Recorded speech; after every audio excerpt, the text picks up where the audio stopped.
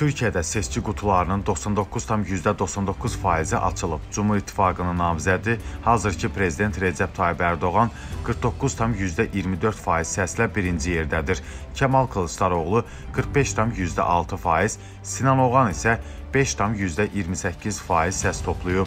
Seçimlerde en yakın rakibimize şimdiden 2 milyon 600 bin civarında fark attık.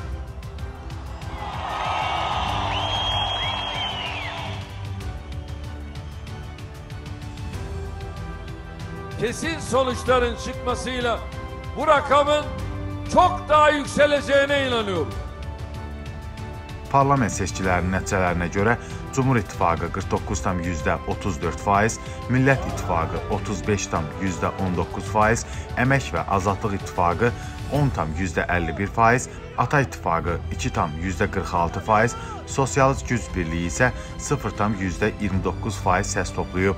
Qeyd edək ki, prezident seçkilərinin ilkin turunda namizədlərin heç biri 50%-dən çox səs toplaya bilməsə, mayın 28-də səs vermənin ikinci turu keçiriləcək. Həmçinin Türkiyə Böyük Millət Məclisinə 87 seçki dairəsində 600 millət vəkili seçiləcək. Seçkilərdə 24 partiya və 151 müstəqil namizəd iştirak edib. Azərbaycan prezidenti İlham Əliyev mayın 15-də Türkiyə Respublikasının prezidenti Rəcəb Tayyib Ərdoğana telefonla zəng edib. Dövlətimizin başçısı Türkiyədə keçirilən prezident və parlament seçkilərində səs çoxluğu qazanması münasibətilə prezident Ərdoğanı və Cumhur İttifaqını təbrik edib.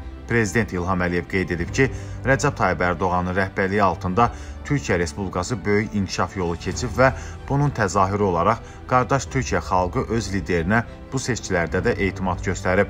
Türkiyə Respublikasının prezidenti Rəcəb Tayyib Ərdoğan göstərilən diqqətə və təbrikə görə dövlətimizin başçısına minnətdarlığını bildirib. Telefon söhbəti zamanı dövlət başçılarının iki ölkə arasında dostluq və qardaşlıq münasibətlərinin daima və sarsılmaz olduğunu bir daha qeyd edib.